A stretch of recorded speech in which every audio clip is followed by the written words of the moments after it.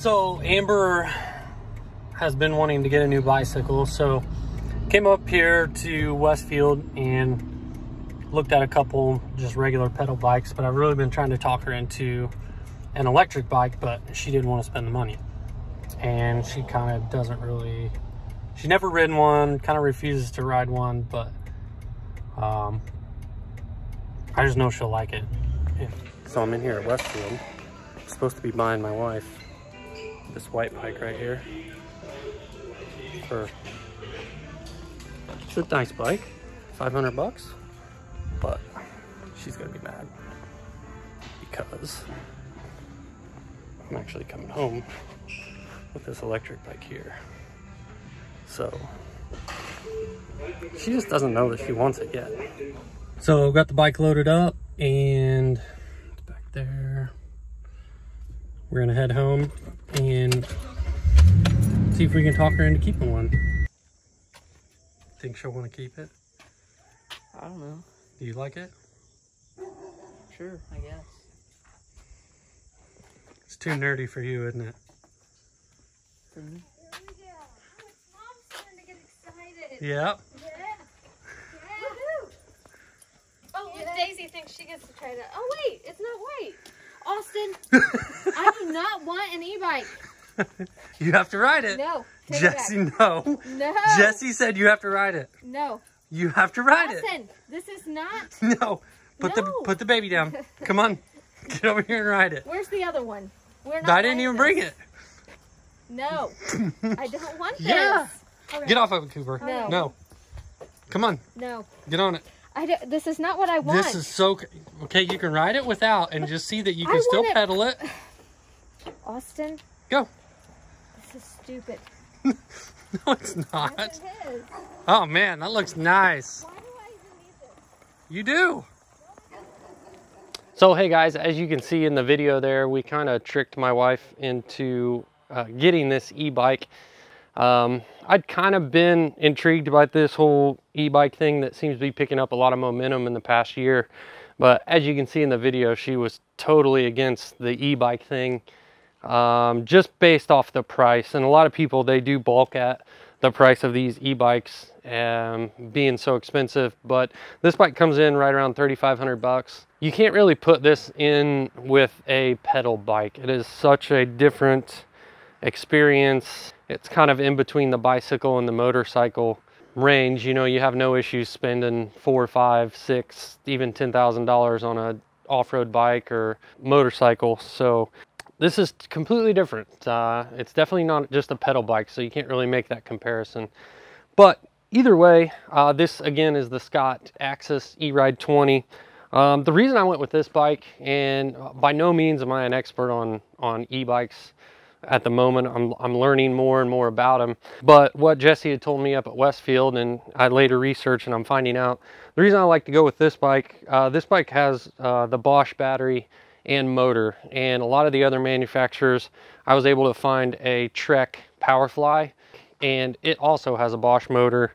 So all the electrical, um, the the motor and the battery and everything, it's all Bosch. So I really like that about the Scotts and the Trek um, because further down the line, once the warranty wears out, if I need to get the bike serviced, there's more of these bikes out here out there that have this type of battery and uh, parts are going to be more readily available and there's going to be more techs out there that know how to work on this kind of bike. So I also wanted to note real quickly, I'm going to put a link down in the description to a 2021 uh, e-bike shootout. Channel compares four e-bike motors, the Shimano's new motor, the Bosch Gen 4, uh, the Brose, which is used in the Specialized Levo, and then Yamaha's e-bike motor.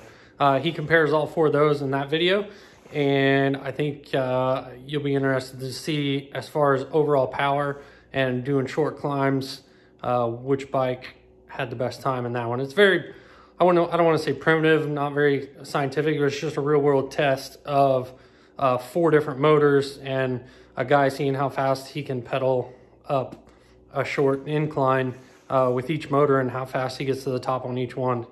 This bike comes with a 500 watt hour battery. Now, I do need to retract that statement in the video that I previously recorded. This bike actually does come with the 625 watt battery, not the 500 that I indicated in the uh, video there. So it is upgradable. Uh, you can add a six, 625 watt hour battery to this battery on turbo mode with a full charge. Uh, it's been varying. Sometimes you, uh, on a full charge, it'll say about 35 miles. A couple other things about the bike that I like uh, for transporting and stuff. It's uh, got some uh, front forks which add a little bit of cushion to your ride and then you can also lock those out if you're doing a climb or, or just don't really need that. Nice quick release on that. I like to use that when I'm tying this down in the trailer, taking it to the races. So this bike is a 12 speed. Um, it's got SRAM components. The other nice thing I like about the Scott, all the components are um, really nice components that are gonna last for a while. You have uh, all your Shimano full disc brakes front and back. You've got a nice little carrying rack back here. We haven't really used that much. The other thing I do like about this bike is it does have a headlight and a tail light, so feel a little bit safer on the roads. When we're riding, we didn't have to buy any aftermarket stuff to bolt onto this thing. It's already built into the bike, so that makes it really nice. So I'm just going to take a moment here and go through all the um, functions on the hand control here. So you just press the top button here. Your is going to come on. The bike's going to initially start up in the off position. So to cycle through your four modes, you just hit the plus sign, minus to go back, and even off.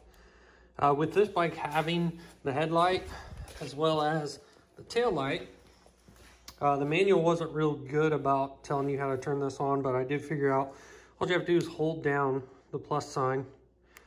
You're to get a little indicator light here, and then your headlight will be on, as well as your tail light.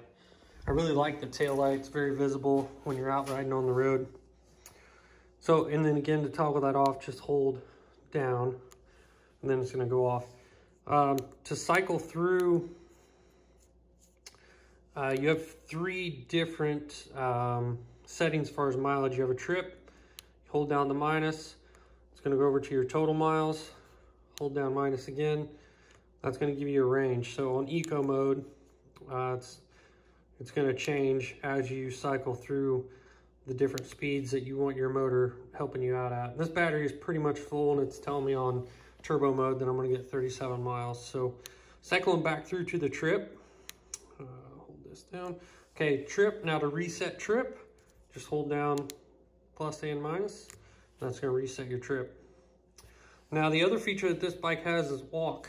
So there's a button on the bottom. You hit walk and before this goes away, if it goes away, it's not gonna do anything. So you can set your mode. I'm gonna back up a little bit here and give myself some room. So this is indicating, this is um, a feature for if you get off, you're on a real steep climb. This bike does weigh 50 pounds, so it is kind of heavy to even push. Um, so the walk mode, hit the bottom and then hold the plus sign and the bike is gonna take off. As soon as you let off the plus sign, it's gonna stop putting power. 29 inch tires on this thing and th they do classify this bike as a um, urban bike. So riding around the city, if you wanna go off-road, you can. But for us, we race a lot off-road and sometimes moto. This bike is more than capable of getting around the pits Currently this bike has 103 miles on it. We've had it for a couple months now.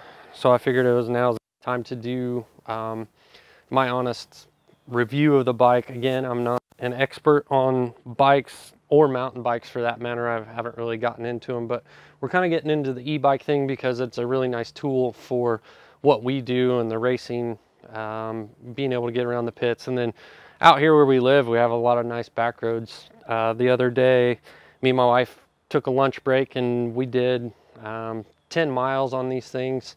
Just did a quick loop. It only took us 30 minutes.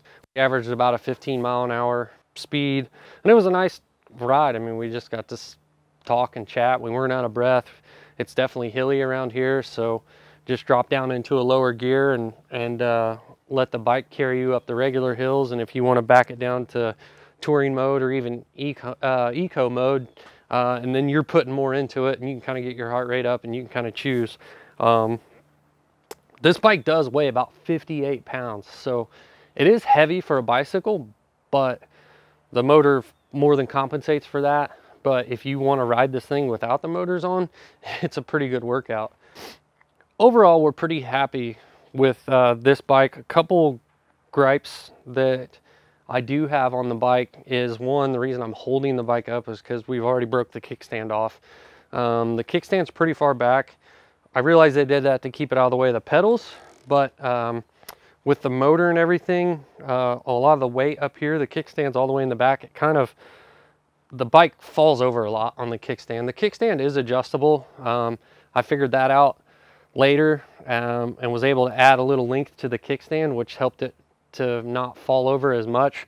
But it's still, unless you're on perfectly level ground and there's not a soft ground, uh, this thing's probably gonna fall over if you put the kickstand down and uh, just fell over one too many times and as it fell over it, it snapped the kickstand off at the bracket. Got a new one on order. It was only 20 bucks uh, for the replacement kickstand, but that's one of my gripes there. And then my second, you know, it's not nothing huge, but the charging port on the bike, it has this, I don't know if I'd even call it waterproof, but the cap that kind of covers up the, the charging port when, when you're riding, it's kind of funky. It doesn't really go, it, it's hard to line up. It's, I'm not a big fan of it. Uh, it's just kind of a rubberized flap and I, I think they could have done a little better job on making sure that stays protected. Great bike.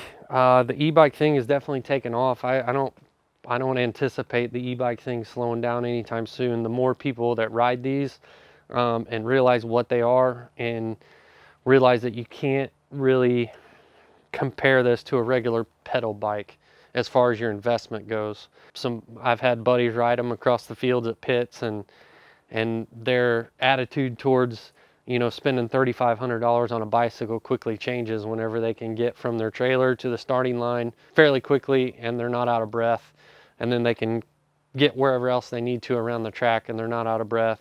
I think that's about it. Uh, as you can see, she decided to keep the bike. She's very happy with the bike. Uh, once she got past that initial investment of it, um, she realized that this is something that we're going to keep for a while and that we're definitely using. Uh, we've definitely used this bike quite a bit since we've purchased it. And, you know, once you get over the initial cost and realize that this isn't just a $3,500 bicycle, this is definitely a lot more than that as far as what you're getting for your money. So very happy with it. But again, the Scott Axis E-Ride 20 29 inch wheels.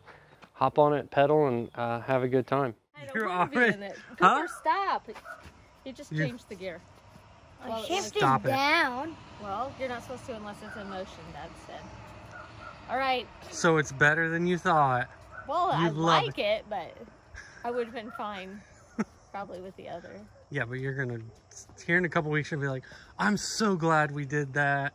It's sure. so much fun. I will say it's prettier than the other. The purple yeah. It's nicer than the white. And we got purple so the boys would stay off of it because they won't be caught dead riding it. Good luck with that. When Leo comes out, We already just got big plans to take it when I'm done with it. no, they're not. I think I'll, this will be mine forever.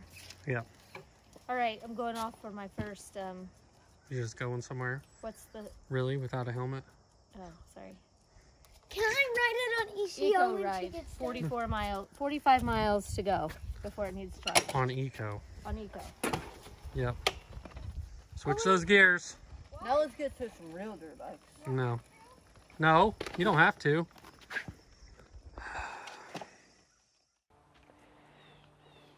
Oh yeah, and it does have a little bell. It's kind of one of my favorite features.